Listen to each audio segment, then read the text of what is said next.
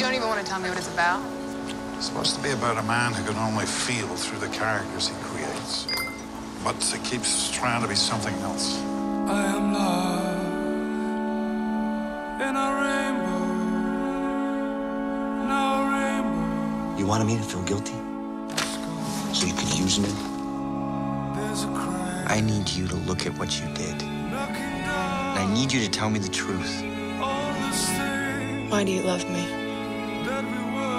That we were. I'm so awful to you. I am lost in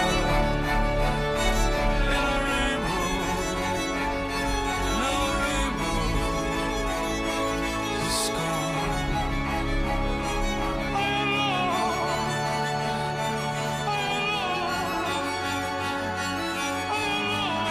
lost. He needs love so badly until he has it. Please. Begging. don't feel a thing, do you?